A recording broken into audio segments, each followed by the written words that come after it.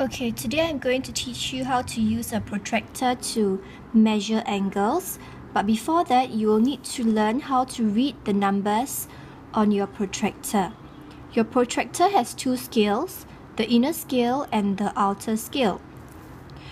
This is the inner scale. The numbers on the inside. And this is the outer scale, the numbers on the outside. Okay? Now, the inner scale. The numbers on the inner scale begins here. 0, 10, 20, 30, 40, 50, 60. And it goes on until 180. This means that the inner scale, the 0 starts on the right hand side. Now the outer scale, the 0 starts on the left side. So for the outer scale, 0 is here, 10, 20, 30, 40, 50 and it goes on until 180. Alright, so the difference between the inner scale and the outer scale is that 0 starts on the inside for the inner uh, on the right hand side for the inner scale and 0 starts on the left hand side on the outer scale.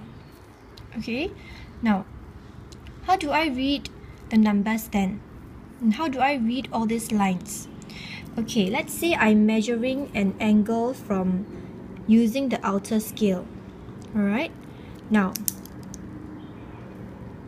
this is 0, 1, 2, 3, 4, 5, 6, 7, 8, 9, 10. 11, 12, 13, 14, 15, 16, 17, 18, 19, 20. You notice that multiples of 5, the lines are longer.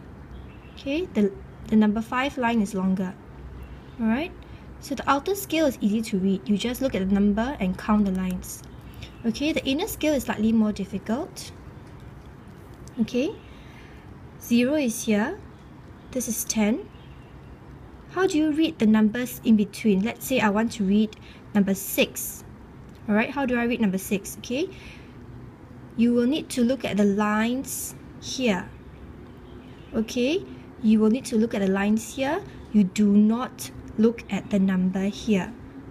You look at the number on the inner scale and count the lines here. For example, this is 0, 1, 2, 3, 4, 5, 6 will be here, 7, 8, 9, 10.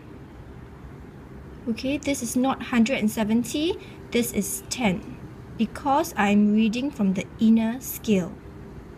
Okay, again, let's try. Let's say I'm reading from the inner scale and I want 54. Inner scale 0, 10, 20, 30, 40, 50, 51, 52, 53, 54. 54 will be here. Okay? So that means that if you are reading the numbers from the inner scale, the inside. You can ignore all the numbers on the outside. Alright? And same thing if you are reading the numbers on the outer scale you can ignore all the numbers on the inner scale. You only use one scale at a time. Alright next we'll take a look at how to measure angles using a protractor